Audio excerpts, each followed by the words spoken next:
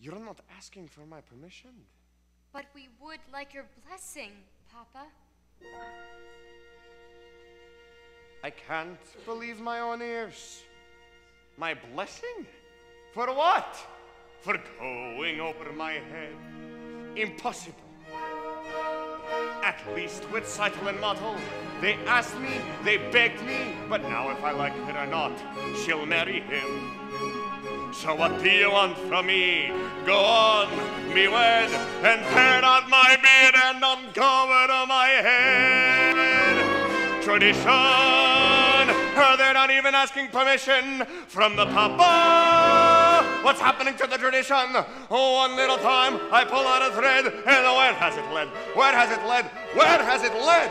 To this? A man tells me he's getting married. He doesn't ask me. He tells me. Oh, but first, he abandons her. He is not abandoning me, Papa. I will send for her as soon as I can and marry her. I love her.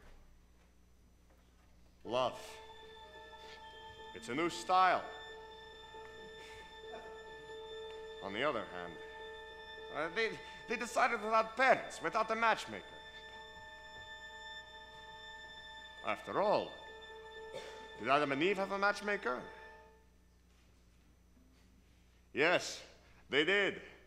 And I suppose these two have the same one.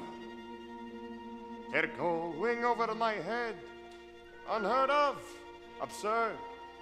For this, they want to be blessed. Impossible. I'll lock her up in a room. I couldn't. I should. But look at my daughter's eyes. She loves him. Tradition. All right. You have my blessing and my permission. Oh, thank you, Papa. You don't know how happy this makes me. Well, what else could I do? Thank you, Papa. Ah, thank you, Papa. Oh, Golda! What will I tell Golda? Another dream? Perhaps tell her something. That I'm going to get visit rich uncle.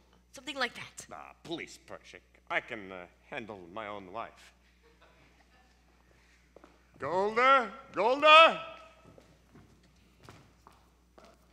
Ah, Golda. I've just been talking to Perchik and Hodel. Well? Well, they seem to be very fond of each other. Well? Well, I have decided to give them my permission to get engaged, and I need to go inside and, uh. What? Just like this? Without even asking me? Well, who asks you? I am the father. Who is he? What does he have? He's a pauper. He has nothing, else. Oh, come on. I, I wouldn't say that.